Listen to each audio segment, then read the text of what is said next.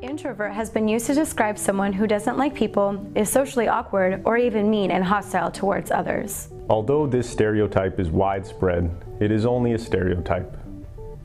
The cultural definitions of introvert or extrovert actually have little to do with what actual introversion or extroversion are. Social ability is only one component of the introversion extroversion dimension of the human personality.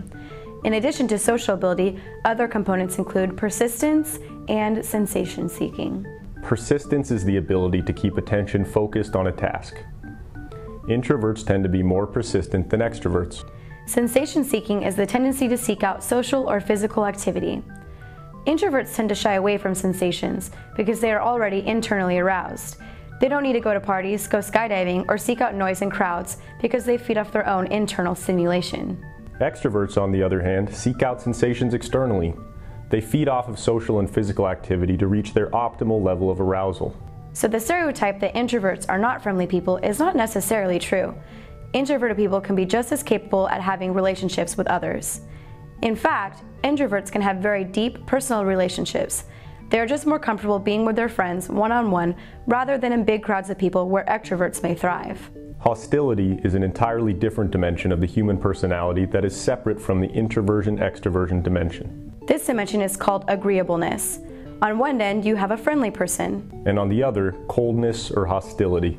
The third dimension is neuroticism. Neuroticism is the tendency of a person to feel negative emotions like anxiety and depression. The other extreme is the characteristic of being cool, calm, and collected, especially under pressure. Conscientiousness is one of the last personality dimensions. Conscientiousness is the tendency of a person to be organized and detail oriented, versus disorganized or messy. The last dimension is openness to experience.